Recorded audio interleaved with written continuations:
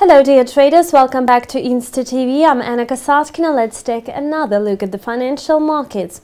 Tomorrow, the currency market is likely to provide a great profit opportunity for speculators to exploit. The release of the UK's gross domestic product data may spur short-term volatility in the cable. The pound-dollar pair is expected to see sharp swings as traders will also be looking ahead to the outcome of the two-day policy meeting by the US Federal Open Market Committee.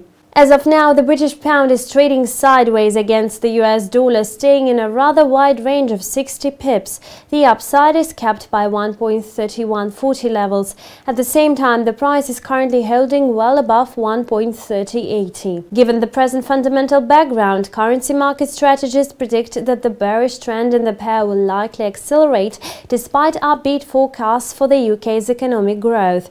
The sterling may extend losses amid broad market speculation about about a possible shift in the Bank of England's monetary policy. Today, British policymaker Martin Weale, a member of the Monetary Policy Committee, said he was ready to support the majority's decision and vote for an interest rate cut at the next meeting. Weale came to this conclusion after scrutinising preliminary economic activity figures from the UK.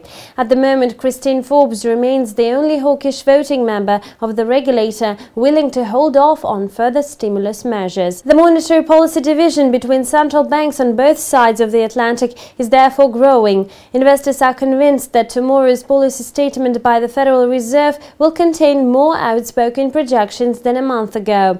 The fact that the latest economic data has been showing notable improvements while financial markets seem to be calming after the post-Brexit panic cannot possibly go unnoticed by members of the Federal Open Market Committee.